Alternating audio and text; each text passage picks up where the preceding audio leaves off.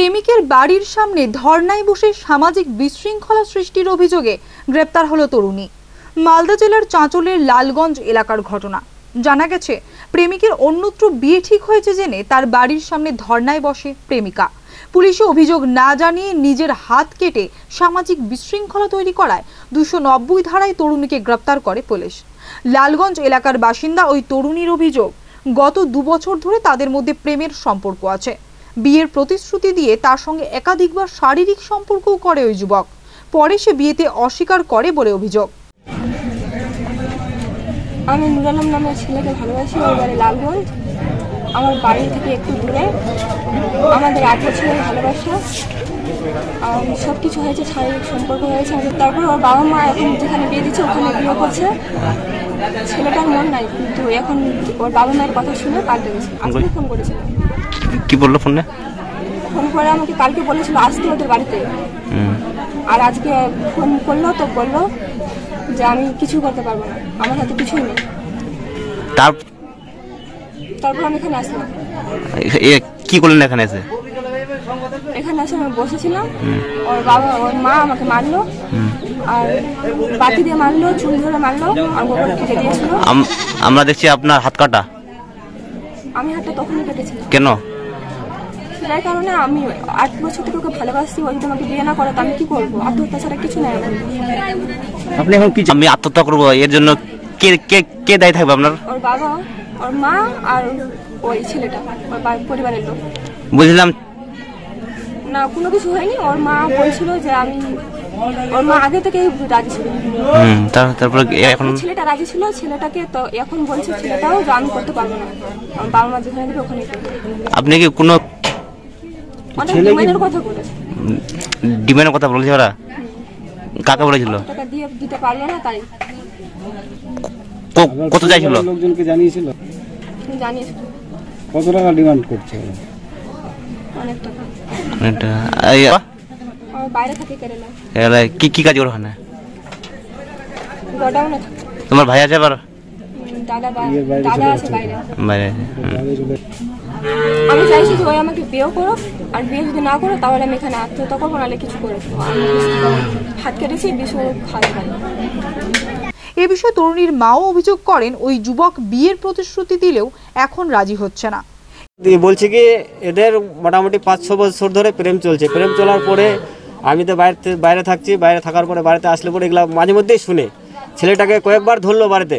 ধরার পরে এরা এদের ছেলের বাড়িকার লোকজন, আবার লোকজন নিয়ে গেছে, বাড়িতে মীমাংসা করলে আবার ফির নিয়ে চলে এসছে। বয়স কম, বিয়ে দিব, বিয়ে দেবো করে থাকে যায়। আজকে যেটা ঘটনা ঘটলো, সকাল থেকে সকাল থেকে ঘটনা ঘটলো কি, এদের বিয়ে মানে এটা জানাই নেই, মেয়েটাকে জানায়নি। আবার বিয়ে হওয়াতে কালকে সকালে যখন জেনেছে, তারপর মেয়েটাকে, মেয়ে ফোন করছে ছেলেটাকে, তো তুমি এই কাজ কেন করছ? বলে, আমার মা বাবা জবস্তি বিয়ে দিচ্ছে। দেওয়ার পরে আবার ফোনে কথা বলছে।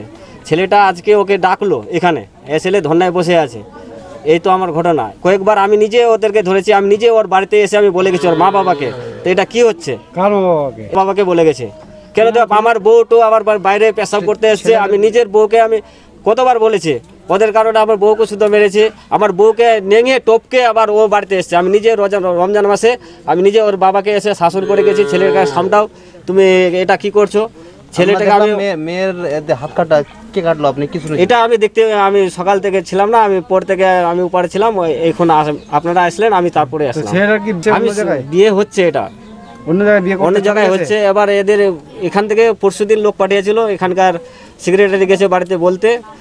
এটা আমি বলে এসছে ওদের বাড়িতে।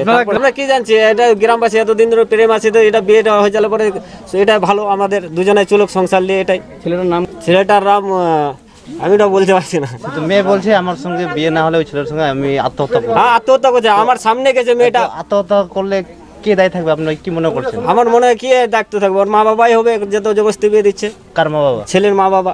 বছর থেকে ভালোবাসি। আর কি নাম ছেলেটার? নুর আলম। কি করে ও? ওই কোনোবার বাইরে খাটে বাড়ি থাকে।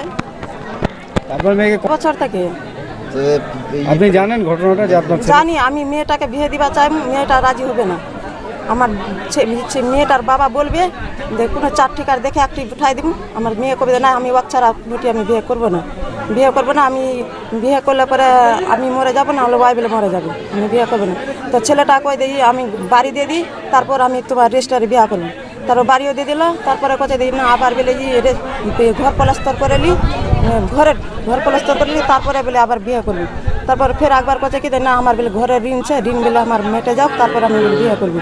ওই থামাই থামাই থামাই আট বছর থেকে লাখে দিচ্ছে লাখে দিবার পরে তারপরে কতদিন আমার বাড়িও যায় তা আমরা মনে তো হিং- হারামি থাকলে তো আমরা বিয়ে দিয়ে দিবা পারতো তা আমরা বিয়ে দিইনি।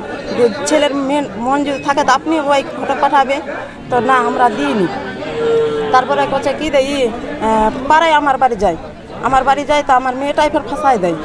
তো কোচে ওখানকার আর মনে মোর মন মতন নিয়ে করো হবে বিয়া তো ভাই কোচে হ্যাঁ বলে ই মুই বলে অমুক দিন করব অমুক দিন করব অমুক দিন করব করতে করতে চলে আছে চুপকাতি ওর মা বাবা বিয়ে দিয়েছে।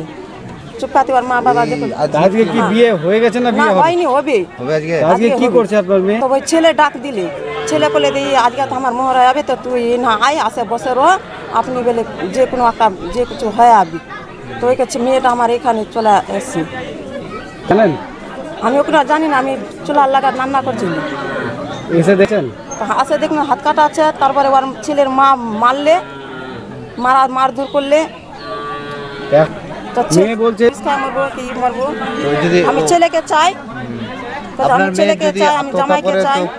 কে দায় থাকবে? আপনি কি আপনার মেয়ে যদি আজকে ভাই ছেলে মেয়ের ছেলের মা বাবা দায়িত্ব হবে। কি চাই? আমি জামাইকে চাই। আমি চাইছি যে ছেলে মেয়ের বিয়ে হোক।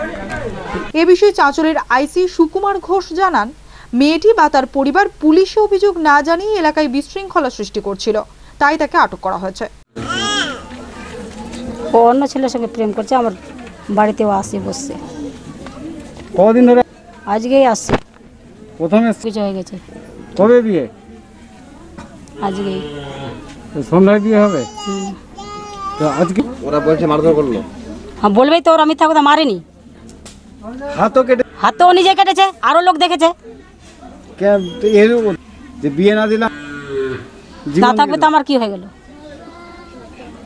আপনার ছেলে আসেনি আমার বাড়িতে গ্রামবাসীও ধরে আমার বাড়িতে আগে কেন আসেনি সেটাই ওর শুধু আমার ছেলে ভালোবাসে আরও ছেলে আছে ওর সঙ্গে ভিডিওটা আপনি দেখবেন কি ব্যাপার অন্য ছেলের সঙ্গে ও প্রেম করছে ভালো করে একদম মালদা থেকে দেবাশিস পাল ও দেবু সিং এর রিপোর্ট আনন্দ বার্তা